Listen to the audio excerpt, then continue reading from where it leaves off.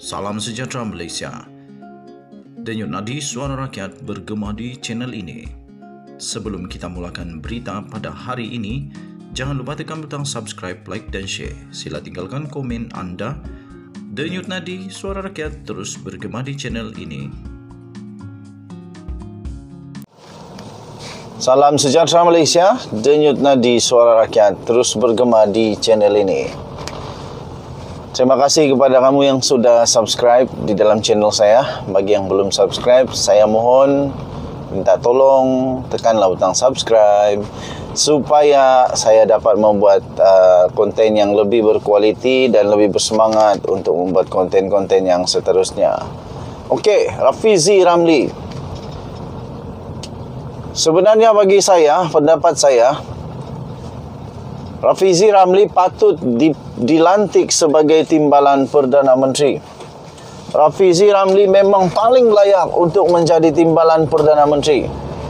Pertama, saya fikir salah satu sebab kebangkitan semula Pakatan Harapan di dalam PRU kali ini, saya fikir kebangkitan semula Pakatan Harapan pada PRU kali ini kerana adanya Rafizi Ramli kerana kembalinya Rafizi Ramli di kancah politik setelah beliau mengumumkan berehat di dalam kancah politik.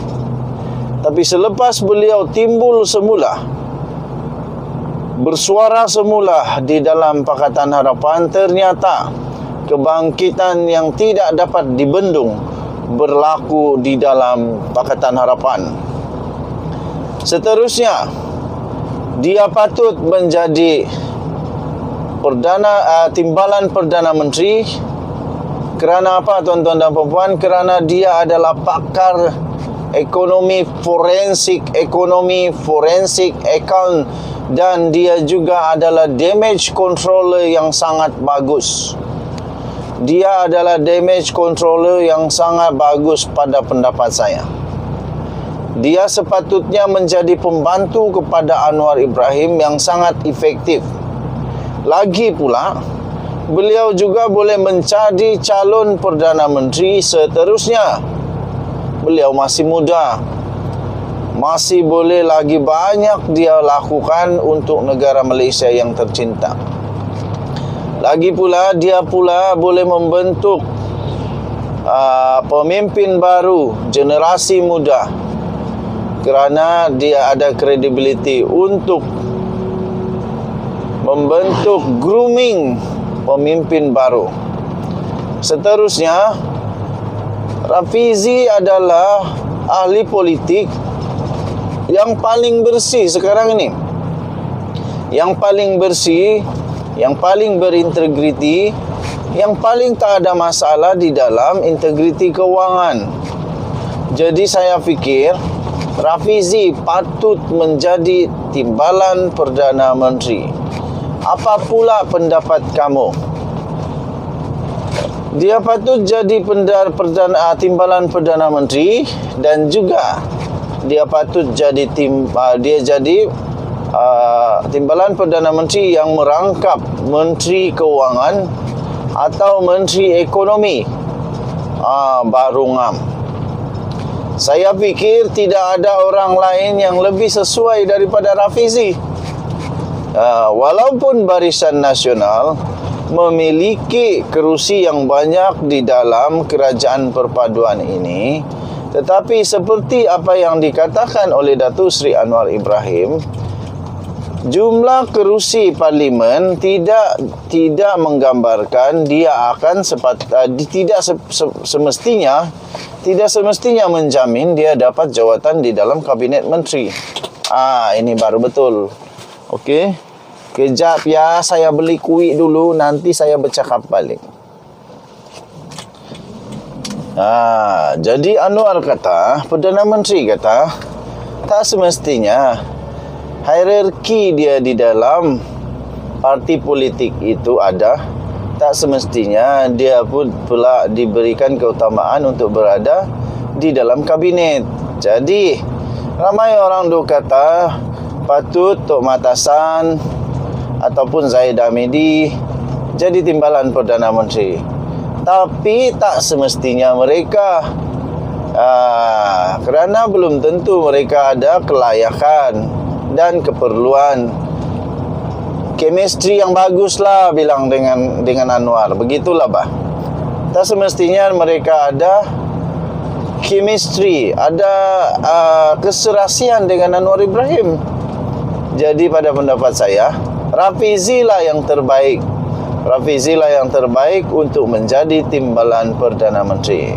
Sila tinggalkan komen kamu dan Yunadi. Suara rakyat bergema di channel ini.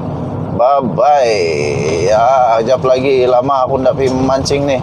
Aku mau pergi memancing dulu. Mancing arwan. Okey, kita jumpa lagi. Bye-bye. Salam sejahtera Malaysia, denyut nadi suara rakyat terus bergema di channel ini.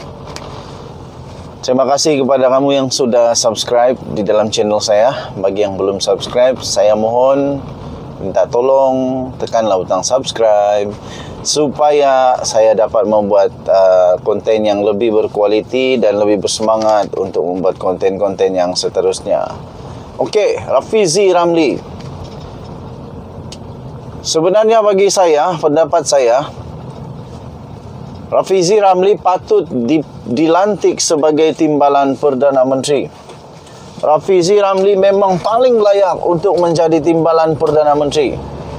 Pertama, saya fikir salah satu sebab kebangkitan semula Pakatan Harapan di dalam PRU kali ini saya fikir kebangkitan semula Pakatan Harapan pada PRU kali ini kerana adanya Rafizi Ramli.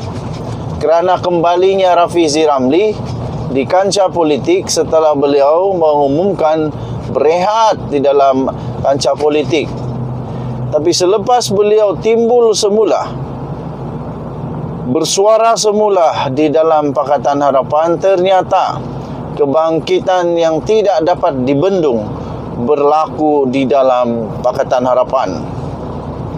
Seterusnya, dia patut menjadi perdana uh, timbalan perdana menteri kerana apa tuan-tuan dan puan kerana dia adalah pakar ekonomi forensik ekonomi forensik account dan dia juga adalah damage controller yang sangat bagus dia adalah damage controller yang sangat bagus pada pendapat saya. Dia sepatutnya menjadi pembantu kepada Anwar Ibrahim yang sangat efektif. Lagi pula, beliau juga boleh menjadi calon Perdana Menteri seterusnya. Beliau masih muda. Masih boleh lagi banyak dia lakukan untuk negara Malaysia yang tercinta.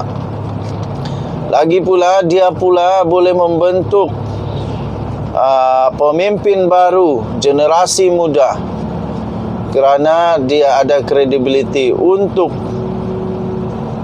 membentuk grooming pemimpin baru. Seterusnya Rafizi adalah ahli politik yang paling bersih sekarang ini. Yang paling bersih yang paling berintegriti, yang paling tak ada masalah di dalam integriti keuangan. Jadi saya fikir Rafizi patut menjadi timbalan Perdana Menteri. Apa pula pendapat kamu? Dia patut jadi pendar perdana timbalan Perdana Menteri dan juga dia patut jadi tim uh, dia jadi uh, timbalan Perdana Menteri yang merangkap Menteri Keuangan atau Menteri Ekonomi uh, baru ngam. Saya fikir tidak ada orang lain yang lebih sesuai daripada Rafizi. Uh, walaupun Barisan Nasional memiliki kerusi yang banyak di dalam kerajaan perpaduan ini, tetapi seperti apa yang dikatakan oleh Datuk Sri Anwar Ibrahim, jumlah kerusi parlimen tidak tidak menggambarkan dia akan sepat, uh, tidak se, se, semestinya tidak semestinya menjamin dia dapat jawatan di dalam kabinet menteri. Ah ini baru betul. Okey. Kejap ya saya beli kuih dulu nanti saya bercakap balik. Ah, jadi Anwar kata, Perdana Menteri kata, tak semestinya hierarki dia di dalam parti politik itu ada tak semestinya dia pun pula diberikan keutamaan untuk berada di dalam kabinet. Jadi, ramai orang duk kata patut Tok Matasan ataupun Zaid Amidi jadi timbalan Perdana Menteri. Tapi tak semestinya mereka aa, kerana belum tentu mereka ada kelayakan dan keperluan chemistry yang bagus lah bilang dengan dengan Anwar. Begitulah bah. Tak semestinya mereka ada chemistry ada uh, keserasian dengan Anwar Ibrahim. Jadi pada pendapat saya Rafizi lah yang terbaik Rafizi lah yang terbaik untuk menjadi timbalan Perdana Menteri. Sila tinggalkan komen kamu dan Yunadi. Suara rakyat bergema di channel ini. Bye-bye. Ya, jap lagi lama aku nak pergi memancing ni. Aku mau pergi memancing dulu. Mancing arwan. Okey, kita jumpa lagi.